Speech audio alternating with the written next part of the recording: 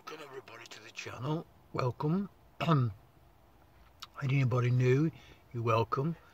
Um, out today on location, uh, my dogging spot for dogs. Um, yes, one or two new people have arrived. Thank you very much for subscribing. It's uh, very well appreciated, obviously, to get my channel, the message across on my channel about the BBC and um, what they get up to and um, course all the best ways how to become license free many videos done now and trying to uh, get the message across how simple it is folks. After yesterday's um, announcement by the BBC of gonna create a um, drama by employing uh, people to make a TV series or drama about Jimmy Savile. Um, still complimenting this. I'm trying to get my head around it because uh, obviously, to me, it's still a very, very um, delicate and touchy sub subject for people who've gone through a traumatic situation with him and other people affected by um, paedophilia.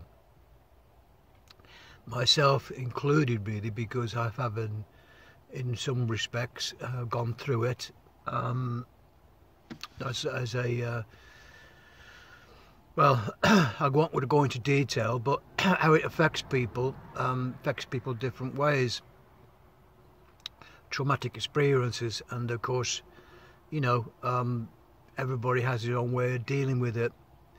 Uh, in my particular case it was uh, a personal thing that um, happened and I don't want to go into details on my YouTube channel about it. It's not what I'm here for. I'm here to understand about the BBC and what they're trying to do. And to me, it looks like, you know, looking at it, it's going to be uh, an exercise in um, what they would call it, um, damage and limitation, how to make the BBC come out of it rosy, rosy clean and uh, another ploy to uh, BBC to sort of get their image across, um, which has been tainted over the years by this whole Savile affair, um, Rolf Harris, um, Stuart Hall, other people who work for the BBC, other people uh, have been connected with the BBC, mis, mis misuse of um, whatever they want to call it, um, of where the BBC operate and the tactics they've used to get either get programs made or you know various things that the BBC get up to with your TV licensing money, how they waste it.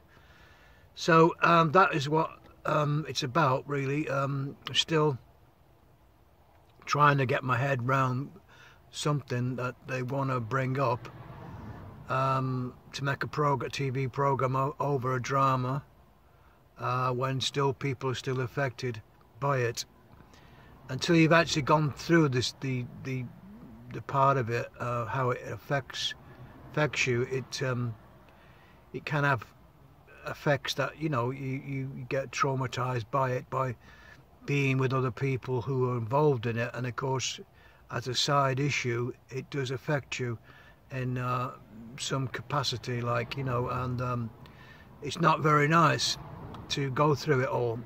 So the BBC don't really care about that situation, that uh, how it may affect other people who've gone through a paedophile trauma, who've gone through the um, some innocent people as well, uh, you know, families and friends and everybody else. I mean, even Savile, although he's a total paedophile, has got family people totally innocent around him, and of course they're they're the people as well who who have got um, tarnished by the same brush kind of thing.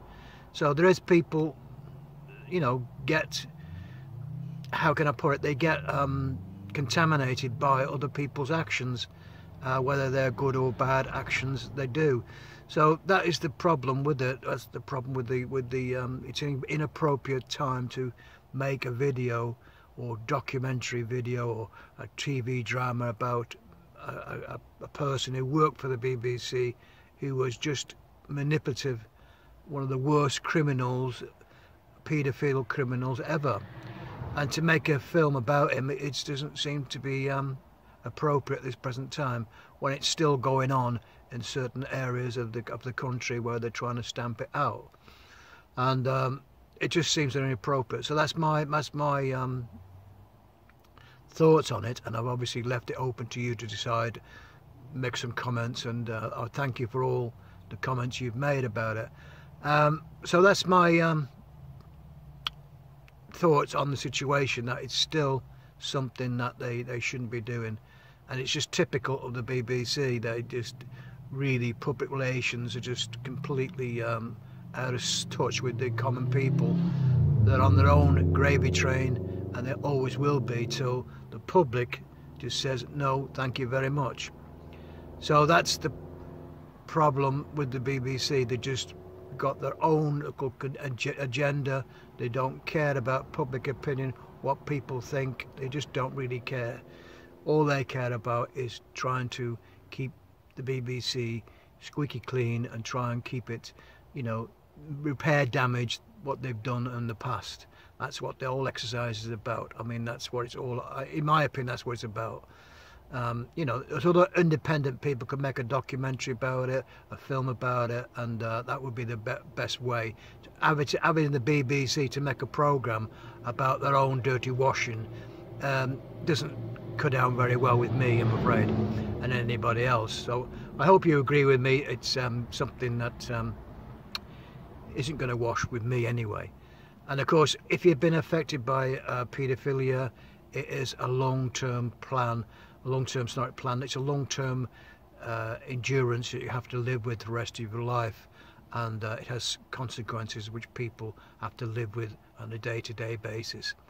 So I hope I've made my point about the Savile situation. Um, I think it's totally inappropriate, totally out of uh, order completely and um, as I said it's still still a raw point in my, in my mind. And of course it has a personal um, thing as well uh, not me involved with anything to do with Savile but people in the same sort of situation who contacted me and stuff. And uh, I've been through it all on a different different um, aspect of it either through counselling and everything else. And it's still still uh, a thing that you have to come to terms with so I'm going to leave it there, folks, and um, I'll uh, get back to you on the next one. And, um, um, you know, i am just really... I don't know what to say, what to say about, about BBC. What more can you say about these people who just, you know, want to make programmes? Is it the right programme? In my opinion, no. History will decide what happened to. Should have his OBE and everything else, his knighthood was stripped off him completely and just be an ordinary person who was a criminal, a mass criminal.